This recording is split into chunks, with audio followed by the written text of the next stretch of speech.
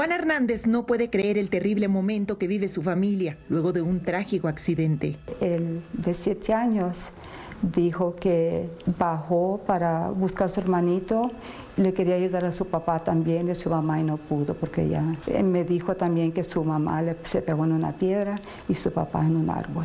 El pequeño Andrés le describió a su abuela los esfuerzos para salvar a su hermano Julián de tres años y a su prima Vivian de un año de entre los escombros en medio de la noche y caminar cuesta arriba con ellos en brazos hasta la carretera para pedir ayuda. También dijo, y mi papá se quedó dormido. So, quizás después de eso se le cerraron los ojos, no sé. El de tres años me dijo, Grandma, había mucho vidrio quebrado. Miguel Guerrero, de 47 años, Valerie Mireles, de 34, sus dos hijos y la prima de los menores viajaban hacia una zona montañosa de Colorado. Dijo que iba a pasar el Día de los Padres allá, pero ni siquiera llegó.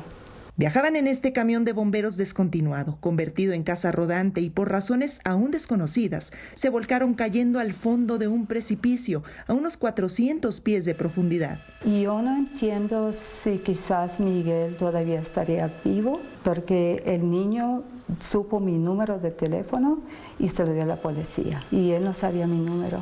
El cariño de... Ah, el cariño de mi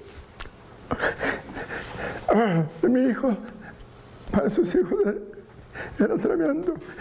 Los tres menores lesionados reciben atención médica y la más pequeña se encuentra en estado delicado, mientras que la familia prepara los funerales y han creado una página de GoFundMe para enfrentar los inesperados gastos. En este momento las autoridades investigan qué fue exactamente lo que provocó el accidente. Aseguran que descartan que el alcohol o las drogas hayan tenido algo que ver.